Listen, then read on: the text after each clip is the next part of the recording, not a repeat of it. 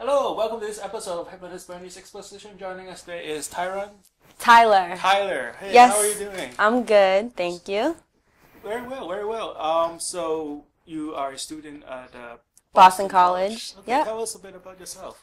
Um, like you said, I'm a student at Boston College. I am a communications major, um, also taking some business and econ uh, courses. I am a sophomore. I am 19 years old, turning 20 uh, in November, so next month. Um, what else? I I'm a dancer. Okay. Yeah. So I what, uh, what got you into what got you interested in uh, in communications?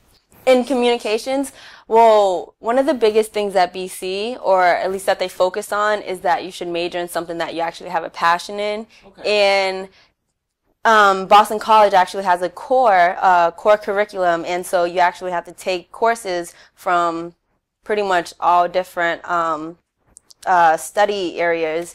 And communications was the one that I was just drawn to or interested in. So I really want to. What kind of classes is, is in that? Uh. Oh, for example, right now I'm taking uh, communications research methods, uh, interpersonal communications. What else? Just media, broadcasting, certain things like that within that respect. So I think it's a lot of fun, uh, a lot of hands-on uh, experience. So yeah. That's great. That's Mm-hmm. great. Um, so what would you like to work on today?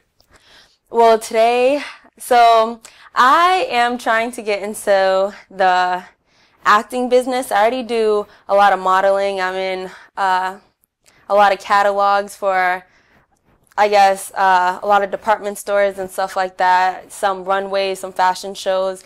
And about two years ago, before I started college, I was really thin, really petite. I was really confident in myself, and I'm still pretty confident. Don't get me wrong. However, uh, as soon as I uh, reached college, you know, that temptation in terms of the food and the stress and everything else just kind of hit me all at once.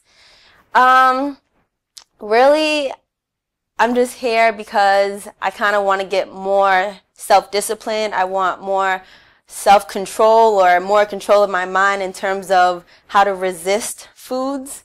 Um, um, yeah, particularly.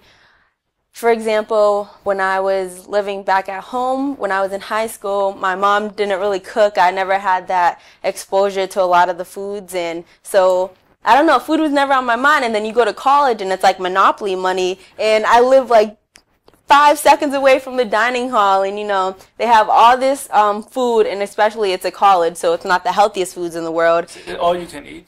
It's pretty much all you can eat. Like i said like i treat it as monopoly money. I'm not i mean so i'm paying for it but i don't don't feel like i'm paying for it. No pay with the- exactly yep yep you just pay you just swipe your card and you go. You don't really see how much you're spending. I'll, I'll buy something. I don't even know how much it is. So um i just want to be able to get more control of my mind in terms of how to resist certain temptations for foods. Uh, I eat a lot when I'm stressed. I eat when I'm bored. Uh, I just want to know how to say no, I guess. Okay, so, um, so you really, what's on top of your mind is overeating more than weight gain. But they're they're connected. Bec- I've since I've been to um, college, I've Well, gained of course, about of course, it's like related, right? But like, Yeah. you, you see it as an overeating problem. Yes, I do. I do. I definitely do. Um, yeah, I don't necessarily. My my problem, yeah, like you said, it's more overeating and trying to get control of myself rather than the actual weight gain, even though they're correlated, I guess. So yeah. So, when was the last time you you experienced an episode that that you think it is a problem? Are you kidding me? Every single day, like this morning. Uh, what did I have? I had like an omelet, then I had ice cream, then I had a piece of cake, then I probably had a cupcake. Like it's it's that bad. Like it's literally that bad. Like I I give a round of applause to my metabolism for keeping up with me. I should be so much bigger than I am right now. I think. Uh, to be honest, I just yeah, I really need to uh get more control Okay. And I think that control like extends to other aspects of my life as well. I just need to become more motivated, more self-disciplined. I seriously lack self-discipline and I think it is affecting me on an everyday basis. It's that that's pretty much the reason why I am so stressed, you know. Just um, having that on my mind all the So time. So tell me more about what you mean by the word self-discipline, Self-discipline? or a lack of. A lot. Okay, so So if you tell me a lack of, we just do the opposite. then that would be it, right? Exactly. So what I mean by self-discipline is just saying that I'm going to do something and doing it. Uh, I guess I don't. I don't know if I'm making sense right now, but just Okay, just say the first thing that comes to your mind. control. Okay. So tell me a story. When was the last time you you think that self-control or self-discipline has become a problem? Uh, other than food, Right. Because it sounds like you, you use food as a background story, As- but, but you keep using the word self-discipline. that's very true. So so it seems like that is bothering you a lot more Mhm. than just food, right? That makes a lot of sense. So a time where I probably lacked self-discipline. Um, or, or it has it was a problem for you, and and you you it's kind of like a f- like a something that is sticking against the back, you know, yeah. something it's just poking you at the back all the time. You know, just tell me one of those stories. Um, let me think. I mean, all I can really say is that it's really difficult waking up telling myself that I'm gonna get something accomplished. Um, I'll go to sleep. I'll I'll go to sleep and I'll write down a list of all the things that I'm gonna accomplish for the next day, and then the next day it's like, eh, I'll put it off until tomorrow. You know what I mean? Okay, when was the last time that happened? Literally, when I say every single day, Okay. I mean this is a problem every day. Okay, pick, every pick- Pick, one day. So this way, the reason why we're doing this is so Mm-hmm. that it becomes more clear to you. Yeah. Rather than just a big blob of anything could happen. Yeah. So I think that's my one issue is that I don't really know. Um, just it is a whole big blog, a blob Okay, to so me. this is why I said okay. Backtrack and sentence. Okay. When, uh, when was the last time it happens? um, It's like taking the bus, right? When was the last time you took the bus? You can say, "Oh yeah, I took the bus every day," but like, when was the last time you took the bus? Right? So, when was the last time this is a problem or this is this happened? um, let me think. Let me think. Other than eating, correct? Right. Um. Hmm. Come on, I'm happens every day. thinking. I know, but it's really difficult because I feel as though it's not like a specific instance. It's just it's just something that's Right. always on my mind in terms of. well, it sounded like it is you. You are making it a much bigger problem. That's true. Like literally, right? Because That's like, true. You know, it happens every day. It Yeah. happens routinely. But Yeah. When I ask you to give me an example, you you want I to blink. come up with something that is so big. Yeah. That that to impress yourself or, or me, I guess. right? But Like, like, yeah. so it sounded like literally that you are making out to be something that is much bigger That's very true. it is, right? Um, so I don't know. I think. I think maybe the reason why I am making it to seem something bigger than it may be is because I do feel a lot of pressure on me in terms of to look a certain way or well, especially to look a certain way because I am um, I'm like in a movie now. I need to kind of lose weight for that movie. Thank you. I need to kind of look a certain way and I'm having trouble with that. And it's like the more that I feel that pressure, the more that I want to run to food as like my coping mechanism. Does that make sense? So I think I don't know what's more of an issue for me, whether it's this discipline, because I have discipline in other aspects of my life, such as schoolwork So, and okay, we, we're still we're still going back to, to this. It will be it make more clear to you Mhm. if you can just tell me. a I'm story. having trouble telling you a Oh, story. but you said it happens every day. I know. Well, I mostly mean the food, though. Okay, so, okay, tell me about the food. The- Okay. The last time you had a uh, issue with. Such as today, like I Yeah, said. okay, yeah. What what did you have? Like I said, like I had um, an omelet, and then at the same time, I had ice cream, and then I had like a piece of cake, Okay. and then because I think I always tell myself, oh no, like I'll I'll go healthy the next day, and then the next day comes, oh no, that's fine, like I'll just put it off um, for another day. You know what I mean?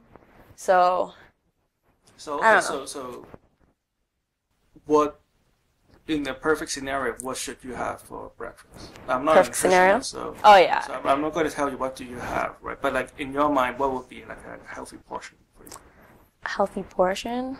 I think I think it's more about listening to my body in terms of when I'm hungry or when I'm not hungry rather than eating just when I'm bored or when I'm feeling Okay, you wanna stressed or sorry. So I like you see, I'm not being mean and like picking Mm-hmm. you, but like I'm just trying to help you Yeah. make it clear to you, Mhm. so that the next time you, you deal with it, you can just deal with reality, Okay. and you don't have to to deal with something that is so big and overwhelming. Okay. Saying like, oh, I have no control, right? Mhm. But how do you be in control? So you know, so I'm asking you. The reason why I'm asking you, so what is the perfect portion for you? Right. Okay. So so in a way, you know, if you know what's this, the right thing to do and you're doing the right thing, then you're automatically not doing the wrong thing. Right? Okay. So So, so what would be like a breakfast? okay, breakfast, I guess like an omelet. Uh next time I eat would be around noon or lunchtime when I'm done with my classes. So I so what, what what would be in the omelet? What would be in the omelet? I guess some vegetables. I like to put like spinach and broccoli. I'm a weirdo in my omelets. Uh, a lot of peppers, stuff like that. I don't know, just Two eggs. yeah, two eggs, white, white. Um, white? yep, egg whites.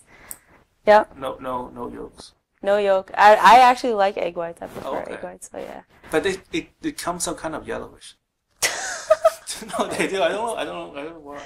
Like I bought like a like a like a bottle of egg yolk at Charles. Mhm. And pour it out. It's like yellow. I I I couldn't tell you. I don't know. Something is wrong. But like in any case, but does it come out white or does it come out? No, it comes out pretty white. Okay. At least at Boston College, it comes Okay. out pretty white. All right. So so, So, no suspicions there. there. Yes, Yeah. definitely. So so it's like a how big would it be? I guess um I don't know, like two fists or whoa. An omelet? I don't know, maybe like Okay. this big? I don't know. Not pretty big. How how long not would too you big. take? What else would you be drinking with it? I honestly don't drink anything besides water. Okay. Yeah, I don't like soda. I don't like juice. I'm kind of weird for that. I literally only drink water. I don't know if that's a problem or if that's a good thing, but I certainly only drink water. Okay. Yeah. So- Or like milk if I'm like having cereal. Right. Yeah.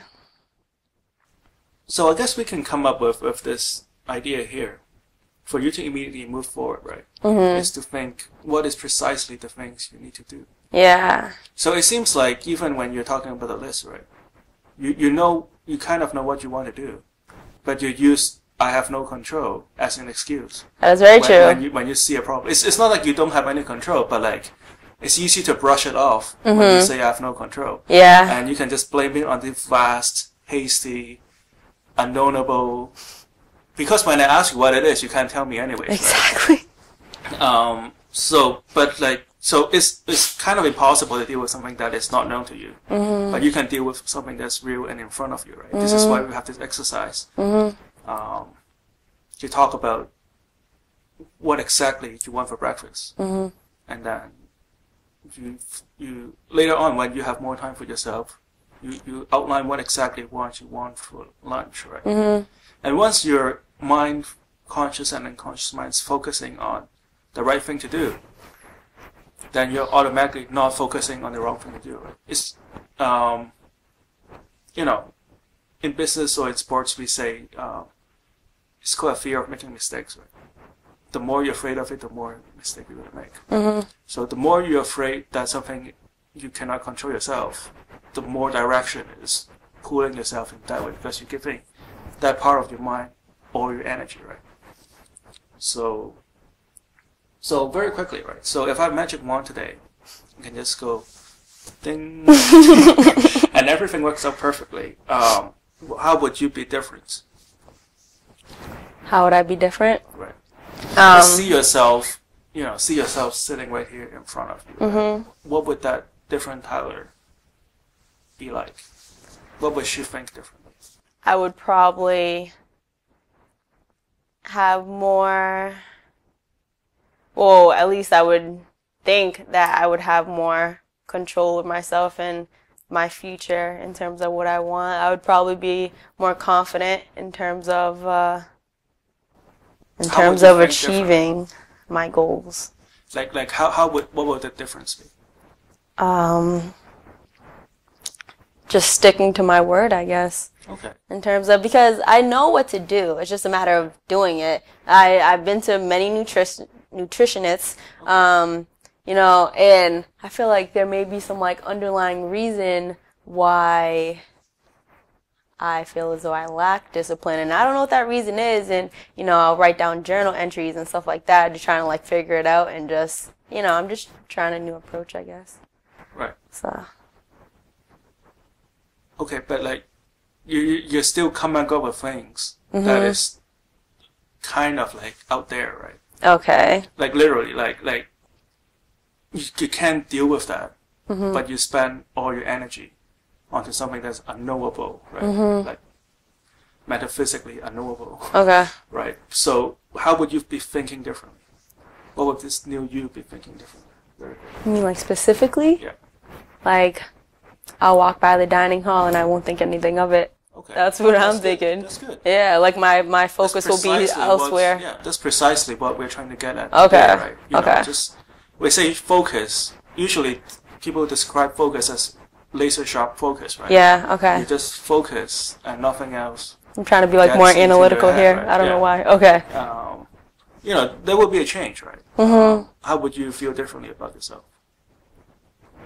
I'd feel more positive about myself. I don't know. I'd, um, How would I'd- your, how would your body communicate to you differently? How would Um. your, your gut and your shoulder feel differently? um, I don't know. I guess, wait, explain what you're, explain what you're Um, asking. how how would you feel differently? Simply. Okay, I would, like I said, I don't know. I just feel lighter, possibly. I, cause I know when I eat a lot, um, like I said, like I don't listen to my body. I sometimes feel sick, and then that sickness will like crave more food for some reason when I know the reason why I'm feeling sick. So I guess I would just feel healthier in general in terms of like putting the right food into my body instead of like junk. Okay. So yeah, I think I'll be like more energized. Okay. Um, hopefully. Uh, so I want you to just put your feet flat on the floor. Okay. I want you to just focus all your attention on the center of my palm here. Okay. Take a deep breath. I want you to just imagine the new you. Imagine yourself wearing something different. The maybe the clothes you always want to wear. It doesn't matter what brand. It doesn't matter if it is something you cannot afford right now, but you wish to afford in the future. But just think about this new you.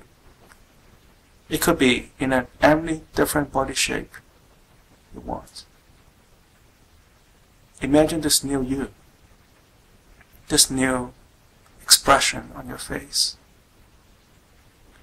Imagine this new you with the new way of thinking, with a new aura of success. Think about how this new Tyler will be thinking differently. It could be intellectual thoughts, it could be life philosophy. Just think of this new you. Now I'm going to count backwards from 5 to 1. When I reach the number 1, I want you to close your eyes and just allow your entire body to step into this new you as soon as I reach number 1. Five, four, three, two, one.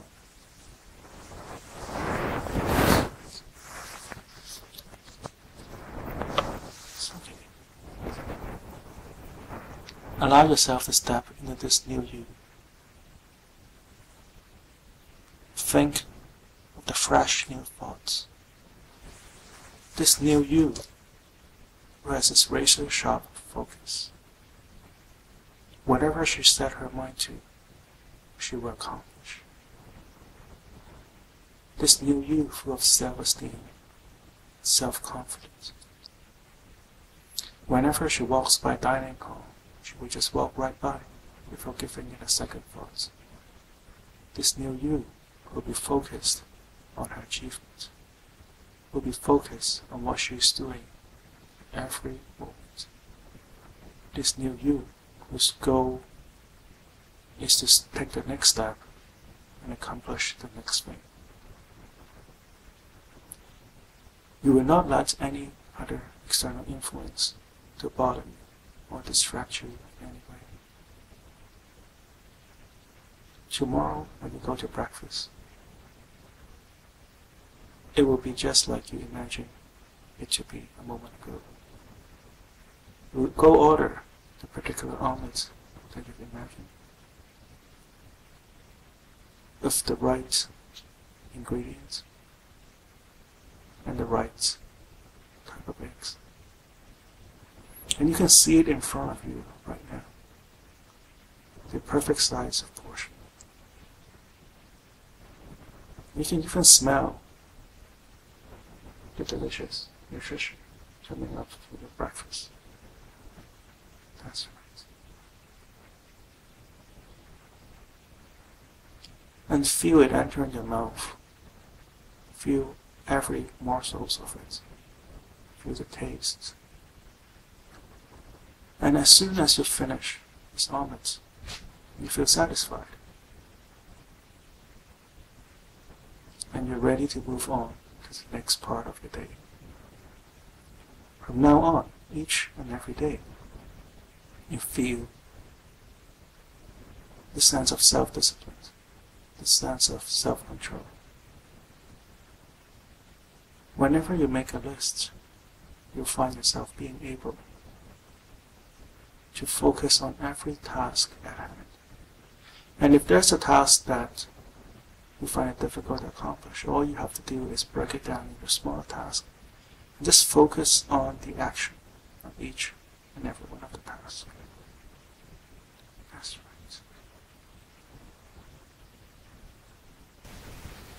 I'm going to count from 1 to 3. When I say the number 3, I want you to open your eyes. 1, two, three.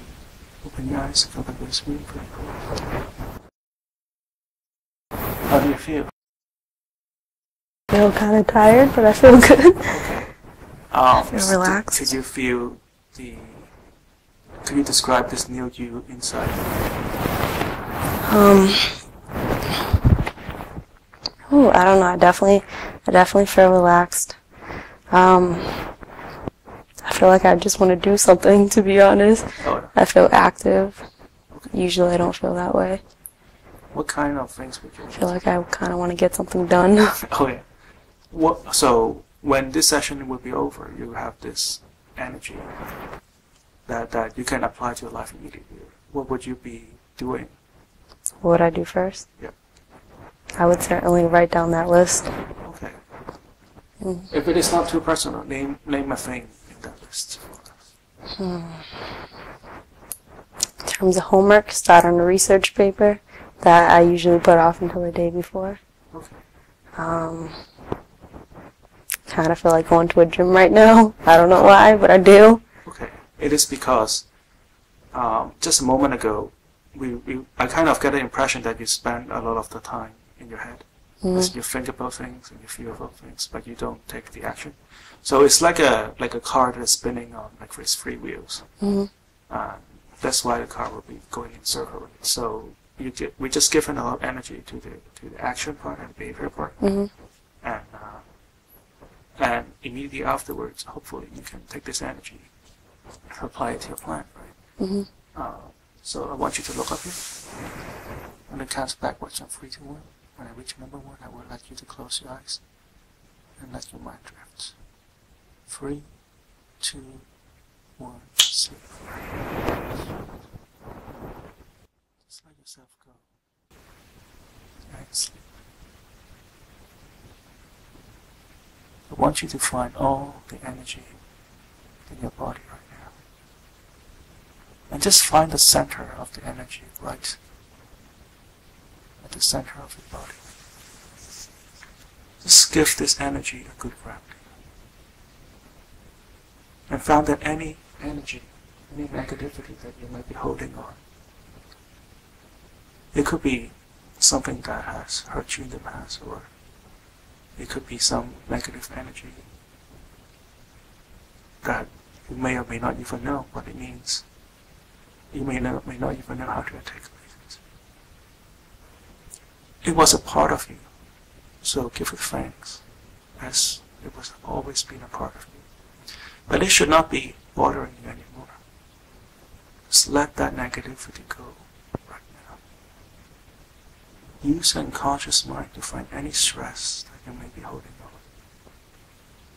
Any notions that you have no self-control. Any notions that you have to eat a certain way. Any notions that you're unhealthy. Just let them all go right now. And in turn, I want you to feel a ray of bright light, a warm white light just spread throughout your body. Filling you up with positive thoughts, positive emotions, energy, life, and connecting with all the goals of your life. I'm going to count from 1 to 10. When I reach number 10, I would like you to come back to this room. Feeling great, feeling like you've just left for the last 12 hours. 1, 2, 3, 4, 5, 6, 7, 8, 9. Take a deep breath in. Whenever you're ready, you can open your eyes 10.